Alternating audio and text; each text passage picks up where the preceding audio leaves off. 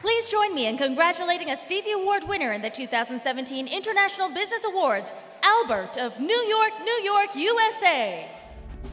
Created by Adgorithms, Albert is the winner of two 2017 Gold Stevie Awards for the Best New Marketing or Public Relations Solution and for Executive of the Year for CMO Amy Inlow. And Adgorithms CEO Or Shani won a Bronze Stevie for Innovator of the Year. Albert is the first ever artificial intelligence marketing platform driving fully autonomous digital marketing campaigns for some of the world's leading brands.